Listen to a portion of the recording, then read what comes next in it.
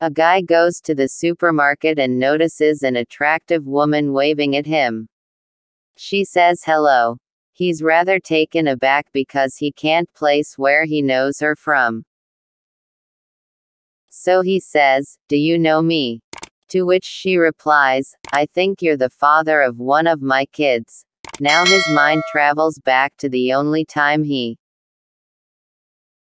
has ever been unfaithful to his wife and says, My God, are you the stripper from my bachelor party that I made love to on the pool table with? All my buddies watching while your partner whipped my butt with wet celery. She looks into his eyes and says calmly, No, I'm your son's teacher.